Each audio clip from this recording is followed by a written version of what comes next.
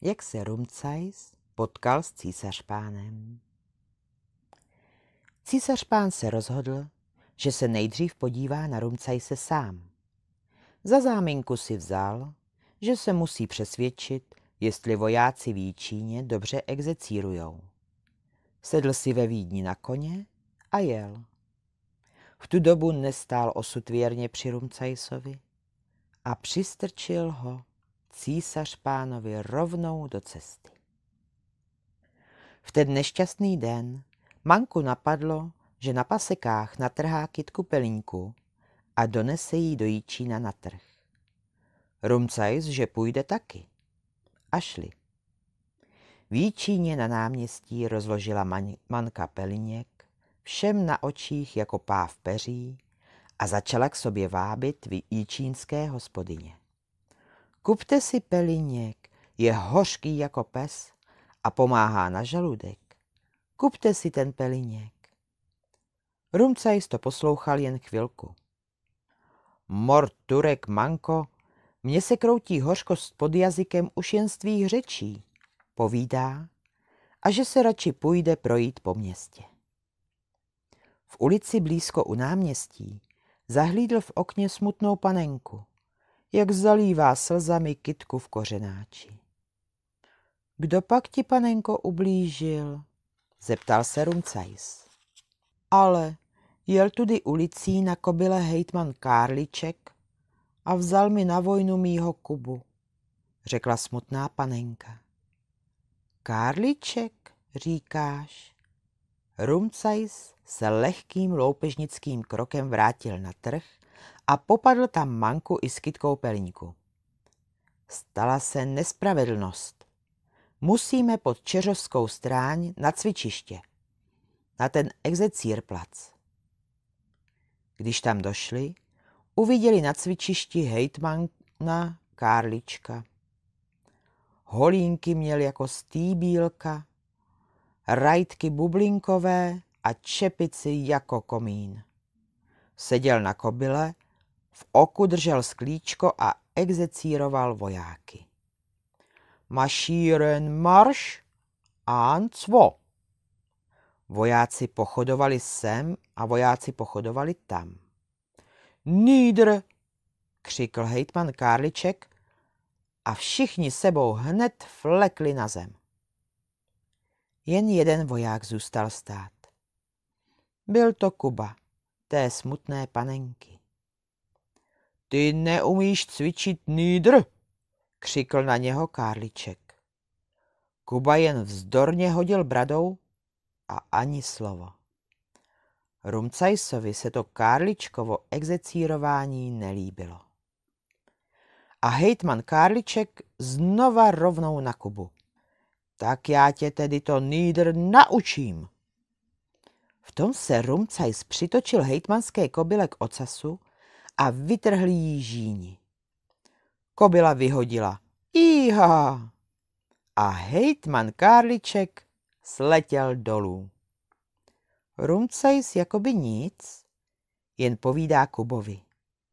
Tak vidíš, pan hejtman ti sám ukázal, jak se dělá nídr. Kárličkovi se ale ráz, nárazem přesypalo v hlavě, že to všecko nebylo jen samo sebou. Pomaloučku vstal, prohlídl si rumcaj se sklíčkem a zamekal. Tuším tady kolem sebe zradu.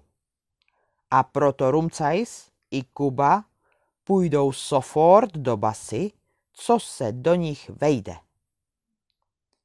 a už je vede do basy. Sám vpředu na kobyle a ti dva za ním pěšky.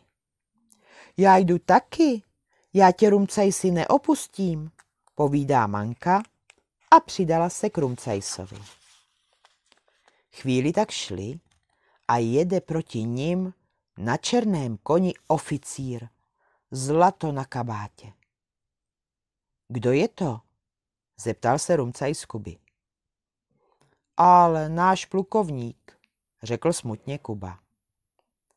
Rumcaj se jen usmál. Tak tedy u něho Kárličkovi vylepšíme vojenský renomé. Řekl to a kývl tajně na Manku. Manka přiskočila a strčila Kárličkově kobyle do huby hrst pelinku. Kobila to bez chroustnutí spolkla, jak byla hladová. V tom už je míjí plukovník na černém koni. Hejtman Kárliček se vypnul v sedle a zasalutoval k čepici. Ale to už v jeho kobyle pracoval Peliněk. Už klíbla se na plukovníka tak hořce, až mu sjela čepice přes ucho. Neřekl nic a jel dál. Co se nepovedlo poprvé, povede se po druhý, povídá Rumcajs. Jen udělali pár kroků, potkali dalšího oficíra. Jel na hnědém koni a zlato měl na kabátě i na kalhotách. Byl to generál. Manka se znova přitočila ke Kárličkově kobyle a nakrmila jí druhou hrstí pelínku.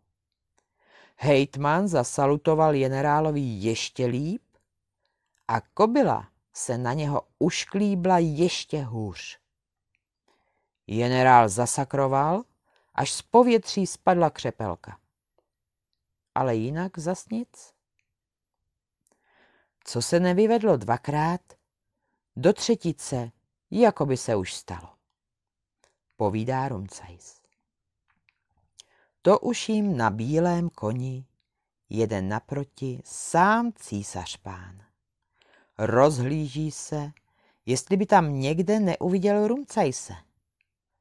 Kůň pod ním samou píchou jde k jedné straně, císař pánovi se na blůze blízkají samé brilianty.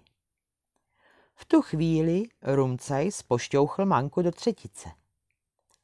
Manka vyčastovala hejtmanskou kobylu poslední hrstí pelínku. Hejtman Kárliček císař pánovi zasalutoval, div si dlaní neusekl ucho. Ale jeho kobyla se na císař pána ušklíbla jako sám čert.